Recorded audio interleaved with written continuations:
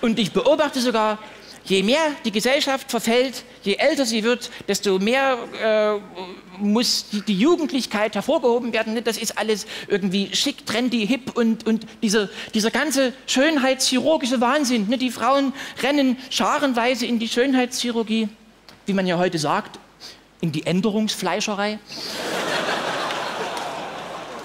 ne? Dann sitzen sie dort beim Beauty-Metzger und sagen hier, halbes Pfund Brust.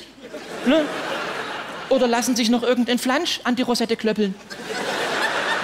Ja.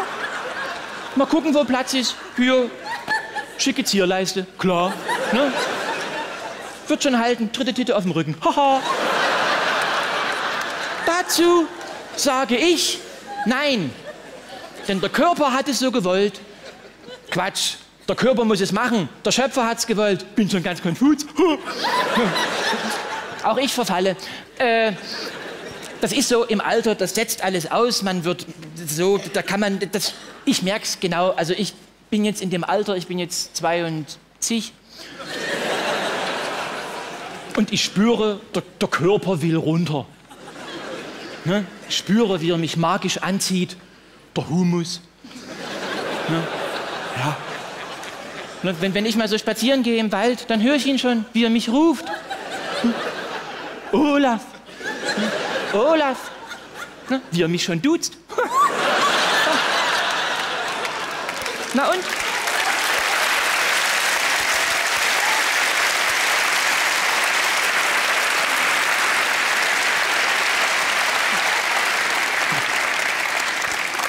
Kann man nichts machen. Im Alter gibt es dann so eben äh, Zersetzungs-, Ausfall, es gibt Ausfallerscheinungen.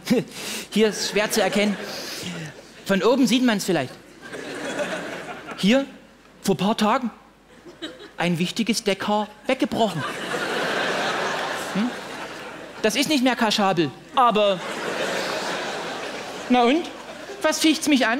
Ja, mich ans nichts ficht's, ficht's. So, also. Ich, ich will überhaupt nicht jünger aussehen als andere Jugendliche. Denn ich habe erhebliche Zweifel, dass die Jugend von heute in der Lage ist, die anstehenden Probleme zu lösen. Gerade die Jugendlichen aus, bei uns aus Sachsen, ne? ho, ho, ho. die haben ja oft noch weniger Haare als ich. Ja, die haben.